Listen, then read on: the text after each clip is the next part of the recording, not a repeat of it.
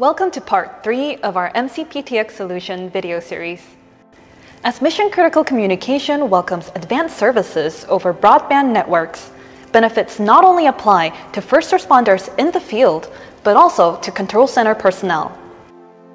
Samsung's dispatcher solution comes in web-based and desktop versions with an interface designed to resemble that of traditional dispatcher consoles.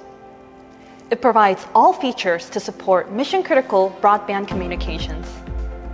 Here's the main interface. It has three main sections, the monitoring panel, the call cards panel, and the operations panel. All the way across the top, you have a monitoring panel with, on the left, audio in and outputs. This is for cases where an operator wants to assign specific speakers or headsets to certain groups or users for calls. In the middle, you have the name and information of the active talk group, together with the date and time.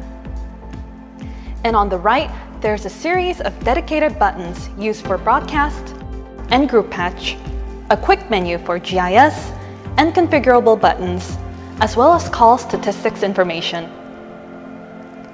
On the main page below, you have the call cards panel. Each card represents a separate talking group. This is where you manage calls and emergencies.